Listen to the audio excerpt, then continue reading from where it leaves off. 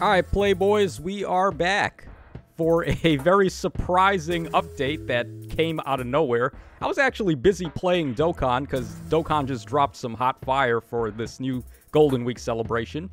But it looks like FEH has got some hot fire of their own tonight. So, Shadow Drop with the Mythic Loki data mines here. We've got her stats and boons and banes.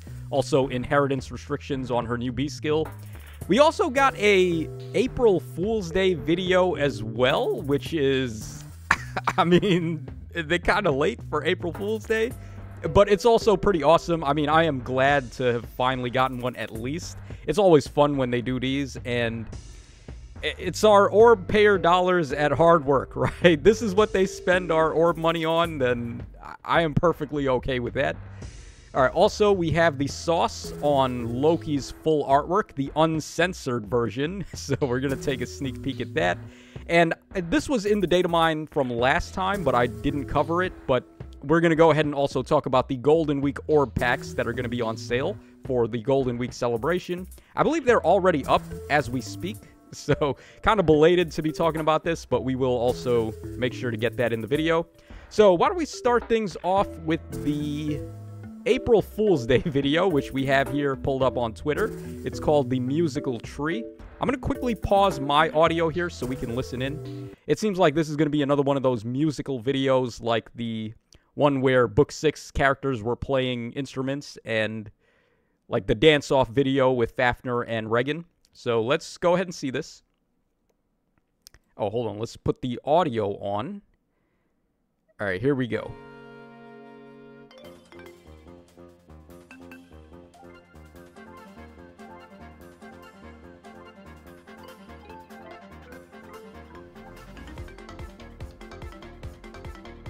Okay. I mean, Ratatoskr's got some moves, huh?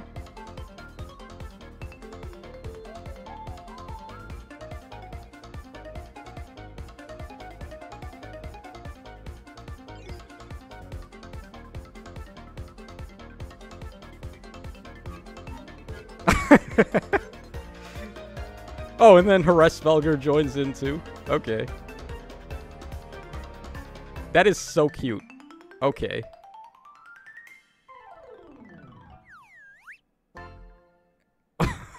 okay, yeah, yeah. I don't know why we couldn't get this on, like I said, on April Fool's Day. It would have made more sense. But hey, at least they put in the effort and they gave us something. I am at least happy about that. Certainly much better than the Feh channel that we got. Okay, so let's go ahead and turn the music back on. And now we can continue our trek through this data mine here. So let's take a look at the sauce here on Mama Loki's full artwork, the uncensored edition. So, of course, in the trailer in the Feh channel, for whatever reason, they decided to smoke out her lady parts. I don't know. Like, this doesn't even seem that risky to me, unless YouTube is getting very uptight about like what sort of images you're allowed to show on an official source. Like I'm showing this artwork and I'm not going to get in trouble, but I guess if Nintendo does it, it's probably more cause for concern.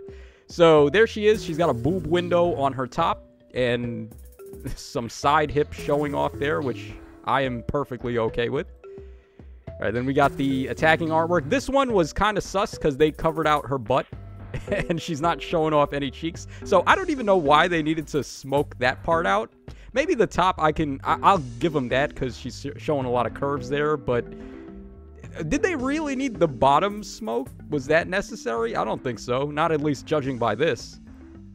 Okay, then we have the special attack. A really cool effect there with the like purple smoke coming out of her staff and just the pose is really nice. I, I like that she's got like magic fingers there. so pretty cool. And then fine, okay, this one is pretty saucy. So we have the injured artwork from our Mythic Loki here, and maybe this one they could have covered her up if they showed this one on the Feh channel, but they didn't. So I, I don't know why they felt the need to censor that Feh channel at all.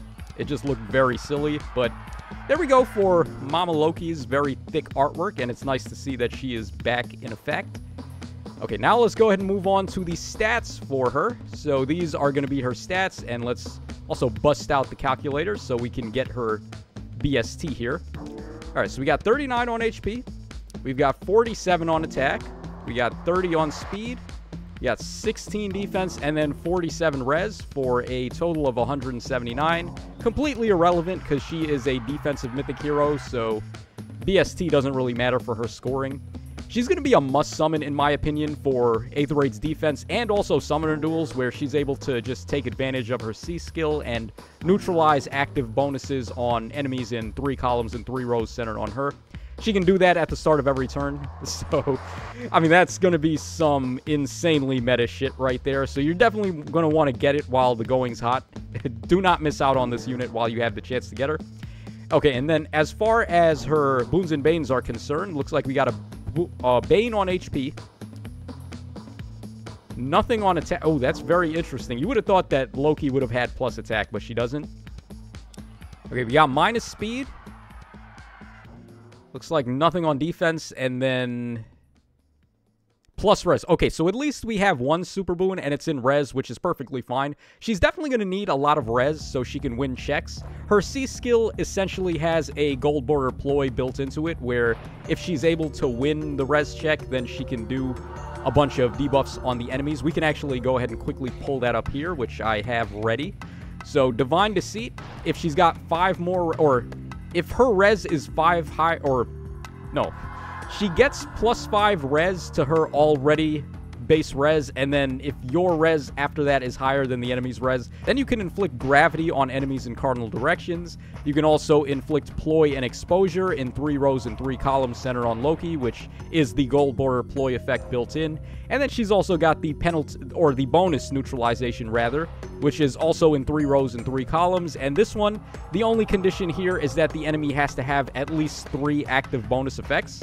So no stat check, but if they've got a ton of bonuses, you're just going to turn them all off and give them the middle finger in the process. so very awesome stuff there. We also have information for the inheritance limits on her B skill, Dazzling Discord. It is going to be inheritable to all staff type units with no movement penalties. So pretty good. You'll be able to give it to your flying staffs, your infantry staffs, your cavalry staffs. There's a lot of staff types of different movement types, so nice skill there to give them a little variety. Going to allow them to inflict Discord as a penalty, which is really strong. And also, you get the Dazzling Staff effect and a stat drop in combat for attack and res minus 4. So, a pretty solid B skill for your staff types. Particularly, I would say, like Duo Elise, Baby Emerin. Those are the type of units that are going to want to use something like that. Unless they have Dazzling Staff built into their weapon already, which that would be pretty tragic. Which I, I think is actually the case on Elise, right? At least Elise, I know she has Poetic Justice.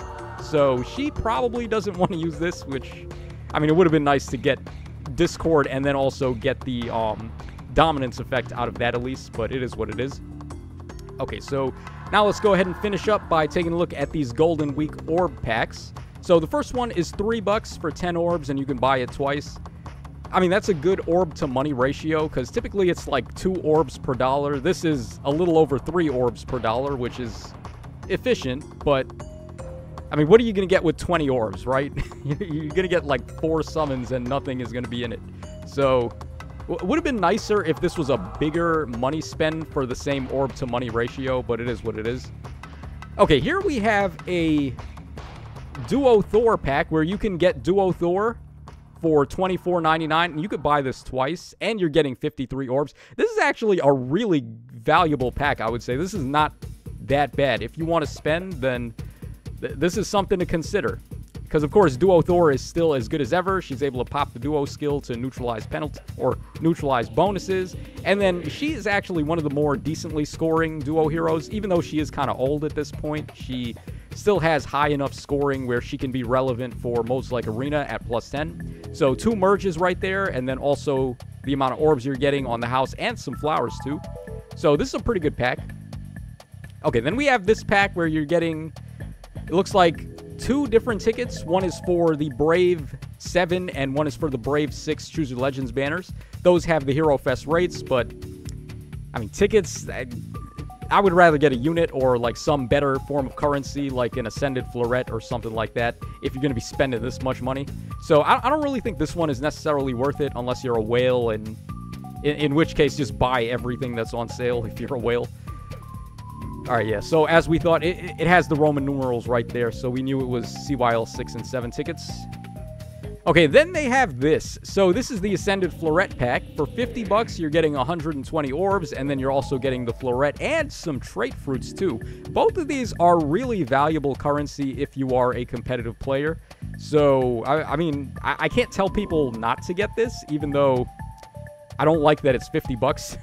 For 50 bucks, you could go out and buy yourself a better game than FEH and actually have hours of enjoyment. So, the asking price is definitely a bit steep. I would have preferred this if it was like $24.99, like the same as the Duo Thor pack. But I guess it is what it is. And the the floret is really good because these are so limited. You, you can barely even get florets as it is.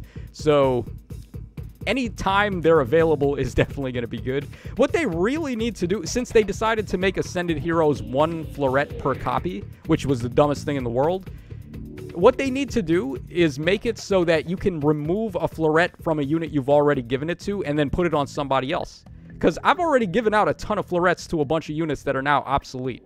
so completely wasted on this really limited currency that I would like to just take off of old units and put on the newer ones.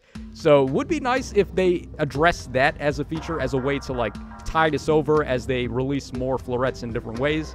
But I guess it is what it is. And then, of course, we already saw the missions. We've pretty much everyone's done them to farm out the tickets. So that is everything in this very stealthy data mine update that they dropped for Mythic Loki. Let me know your thoughts in the comment section down below, and I will catch you guys again on the flip side.